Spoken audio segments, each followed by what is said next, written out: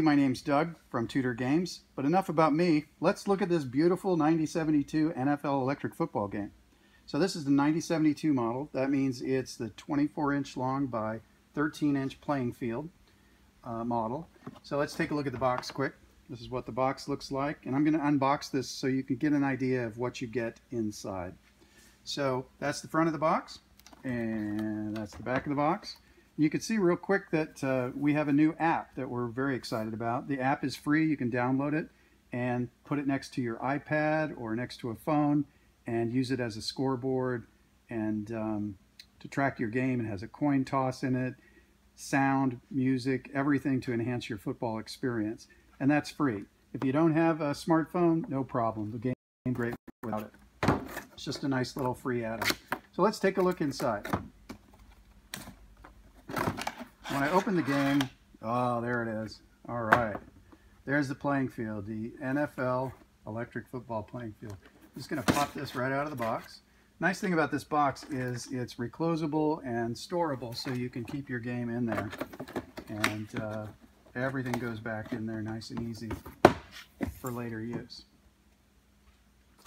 Okay, so let's take this thing apart. First you want to pop off these corner pieces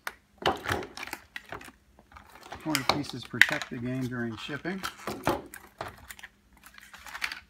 All right, so metal playing field, uh, NFL in both end zones.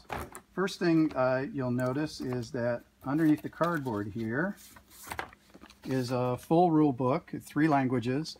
This has assembly instructions, rules of the game, everything you'll need to play a fun game of electric football. And then 70 NFL stickers, so you get two stickers for every team. These can go in the end zone right here. That's what they're designed for. If you don't want to put them there, that's fine. You can put them on the sides. You can use them for other things, but uh, that's what they're for, is they go onto the playing field uh, so you can play your favorite teams. Now, I'm going to take this up, show you the back of it. This is what the game looks like. It's a sturdy metal field. Let's put that there and show you what you get inside. So inside the bag, some of these things I want to show you are, first of all, the frame clips. So the frame clips are clips that go on the frame. Makes sense. Just put one on one side, two over here, and one on each side for the goalpost.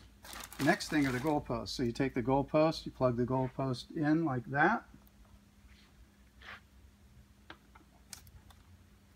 When you're doing this, you're going to want to straighten them, make sure that they're lined up perfectly. And then we have the markers.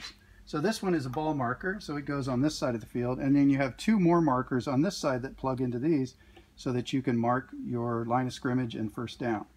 So these uh, can slide together or apart. If it's uh, fourth and 20, then they're further apart, of course. And then this slides down the field to mark the line of scrimmage. All right, what else do you get? Uh, you get two triple threat quarterbacks. So this is what it looks like. This is what it looks like when you pop them together. Triple threat quarterbacks run, pass, and kick. And that's what they do. I'll show you more about that in a little while. It also contains the bases and the players. So these are the bases and the players that you're going to need to play a game. So red team versus the white team. Two types of bases, or cleats as we call them now. These are really neat and really new, and this makes the players run whatever direction you want them to run.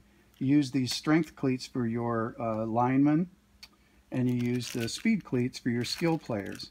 They look like little skis, and if you want to turn them different ways, you can make your players do anything you want them to do. It also comes with full numbers for each team, so you put the white numbers on the red team and the black numbers on the white team six felt footballs. Footballs pop out. This is what you put on to the kicking tee so that the triple uh, threat quarterback can kick. Put it up in his arm so he can pass.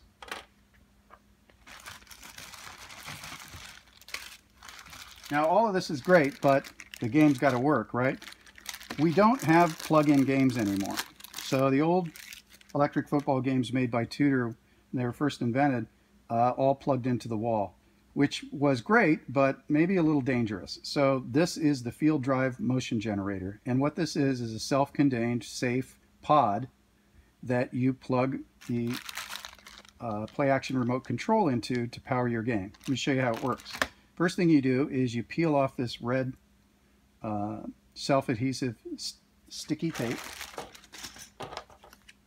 Take this stuff off the field quick. Now you notice when I tip this up, the field goal posts and the markers, nothing falls off. It's kind of nice. Now where you want to mount this for this size game is in any corner. 45 degree angle, about an inch from the edge. Doesn't have to be perfect. Try to make the, uh, the little uh, uh, receiver there near the edge. And you just peel that off, stick it on, again, any corner. And then you take your field drive or your uh, play action remote control and you plug it in. This takes two AA batteries. So put a couple of AA batteries in there. The way this works is you can vary the speed of play by turning it up and down. Make your players run faster or slower. You can go slow motion in the middle of a play. Pushing in starts the action, letting go stops the action.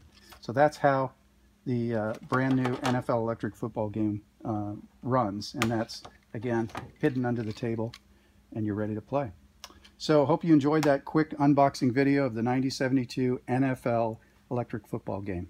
Play electric football.